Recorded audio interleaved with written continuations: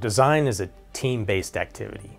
So we need an active learning environment where our students can sit down and work together to solve problems, to do design from prototyping to testing, and then also working with their clients, their sponsors, their industry partners to make improvements, to address deficiencies in designs so that they can make the best product possible.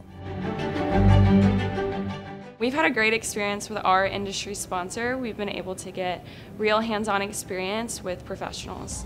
And we've been in communication with them weekly and we've participated in several design reviews with their engineering team that allows us to progress in our prototyping. I think it's important for us to have a facility uh, in biomedical engineering for them to really have a place where the students can come and culminate and really work on their passions on developing medical devices. If you understand why things are designed the way they are and the way they work, it allows you to have a, a, a broader perspective on you know, the outcomes and how you can impact patients. Biomedical engineers are engineers that solve problems in medicine and healthcare in particular. So largely what biomedical engineers are doing are developing new tools, techniques, and technologies to help improve the efficiency or the effectiveness of healthcare delivery.